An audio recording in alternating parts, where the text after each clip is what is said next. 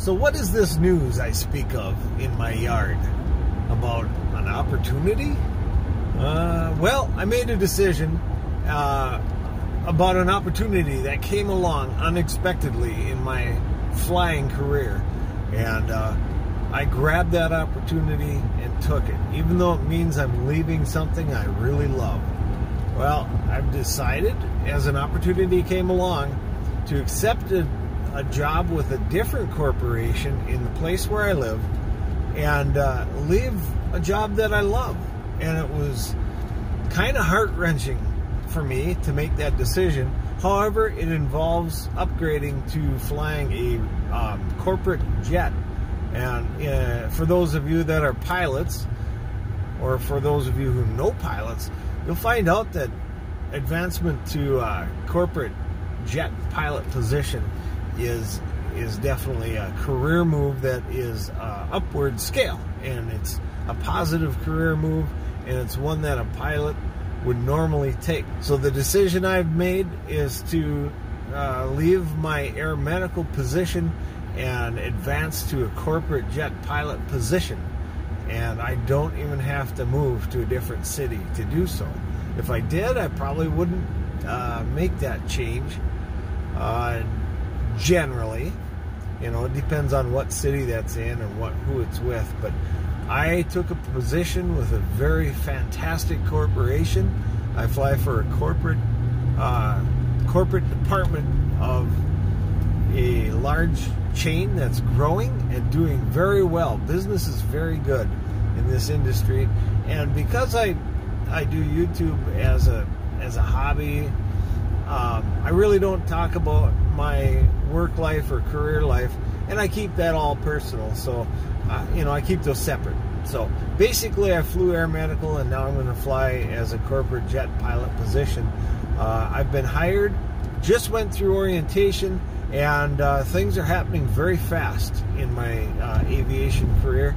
Uh, I've I'm way beyond my wildest imagination. When I was five years old, I wanted to learn to fly airplanes, and by the time I was 17, I was up taking flight lessons at the airport where I hung out with friends and, and worked part time. Uh, I helped around the airport doing various jobs and sanding airplanes or removing paint from airplanes with with a stripper.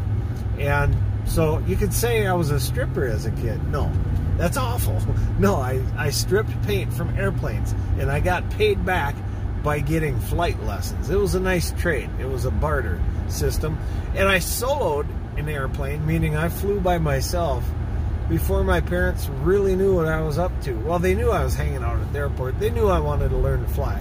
But they found out I was really serious by working hard at the airport, hanging out at the airport, studying as much as I could every free moment I had, even though I also worked at several other places. But um, they knew I was serious about becoming a, a career pilot, and my parents helped put me through college to get that accomplished. And then I worked at the University of North Dakota Center for Aerospace Sciences for 10 years and learned a whole lot more and advanced all the way up through the highest pilot rating that you can get, and that's air transport pilot. So that's that's what I'm willing to share about what I do for work when I'm not here on YouTube, and it explains where I have been this summer. Two major reasons why you haven't seen many videos from Frosty Life, and they are huge, gigantic reasons. One reason is we uh, we started a very large, major landscaping change at our uh, lake home. We rented a bobcat. Ended up being three days worth of work. We tore up the yard and put in, uh, began a new construction project on a new patio fire pit area with flagstone. I had gotten bids to get this work done, and it was over $5,000 for a simple change.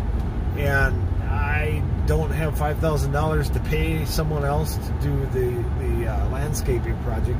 Now that I found out it took me all summer, it would have been maybe worth it. Although, again, I, I'm not going to put $5,000 into a, a, landscaping project.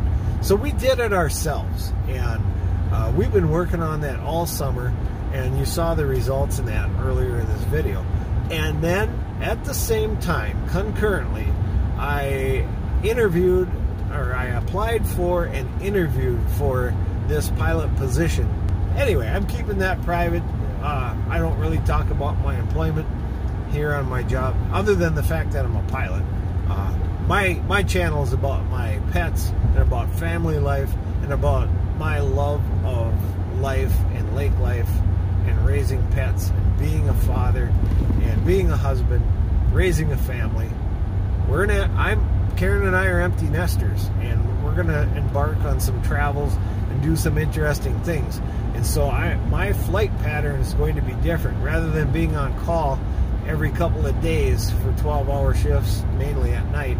I, I'm going to have some busy seasons, and you'll know when that is because you won't see videos from me very often.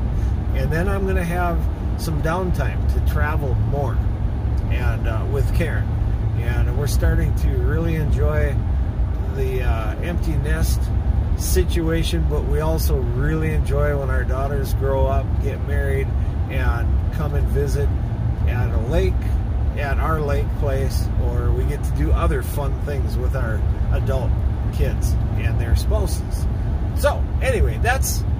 Uh, I do have some videos from earlier this summer. I just haven't had time to edit those, and I'm sorry for being long-winded. Oh, by the way, I am totally hands-free. My hands are on the wheel. See right here, I have a dash mount. So if you're if you're wondering why I'm vlogging while I'm driving, I'm actually just riding with you in the car.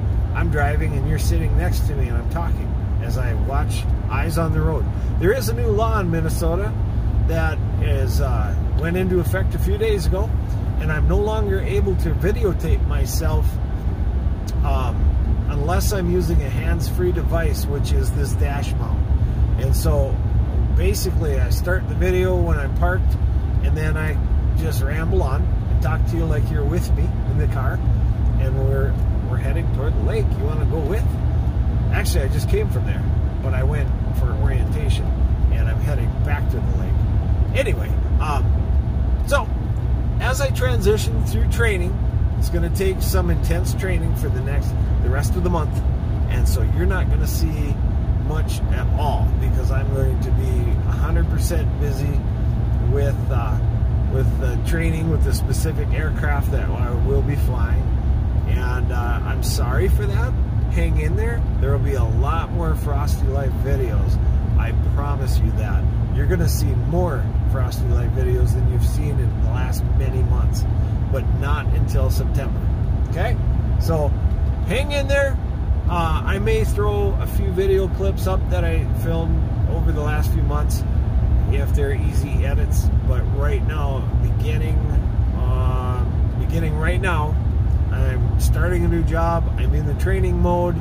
I will be away for training for part of that time, and uh, once I'm all trained and tested in the in the uh, new aircraft in the jet aircraft, I will be then catching back up on uploading Frosty Life. And again, I took a job where I'm going to get more time during certain times of the year where it will not be the busy season, and I will be giving you a lot more Frosty Life videos. I appreciate all of you who have hung in there and missed us and sent messages. I've not had, I've not been online hardly at all with this landscape project and with the new job. It's been a huge summer for me and for Karen. It's been huge changes and a summer full of blessings. I can't even explain to you how blessed I feel for the opportunity to be in a job that I absolutely love and have another opportunity to work for another corporation that I absolutely love to work for. And um, never imagined that I'd have these many options without even having to move in my flying career and in my personal life.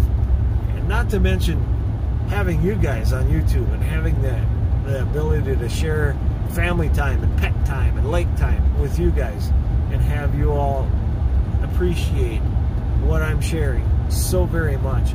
I wish, I really wish in some ways I could be doing this full time with you. on YouTube. But part of my career change not only is to upgrade to jet, but also to at certain times of the year I'll have a little bit more time to work with this because then right now I'm actually working for two actually three different companies and that's going to go away. I'm going to go work for one company now. And to make ends meet, I was pushing myself way too hard.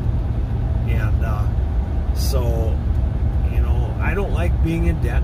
And so we've worked very hard to get out of debt other than my house payment and now this car. But it's a used car. It'll be paid off in a very short time. Um, life's full of blessings. And I'm very thankful for you guys and for my career and for my health and for my kids and my wife and my puppy dogs and my cats. Oh my gosh. I'm just so blessed. Thank you guys. Thank you for watching Frosty Life and for uh, encouraging us and supporting us. So I'm going to continue on with my hands-free device mounted to my dash. I just want to point that out because um, I guess over time I've learned that distracted driving is is more and more and more serious of an issue, and I want to participate in being an example of being a safe driver. And as that as that law was coming into effect, I already had the hands-free device dash mount on my car.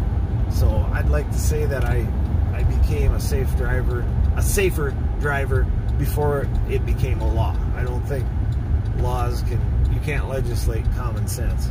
And so uh, in the past you'll see in my older videos I did not exercise common sense and I was a little more distracted on my video uh, creations. And those days have come to an end now. I'm going to be limited to hands-free device only during certain times that I'm allowed to uh, video chat with you well, not video, I can't even do that, but um, the device can record from the dash as I drive hands free and pay 100% attention to the road. As uh, as a vlogger, I think it's it's maybe important to set that good example for you. Thanks for encouraging me to be safe, and uh, thanks for watching Frosty Life.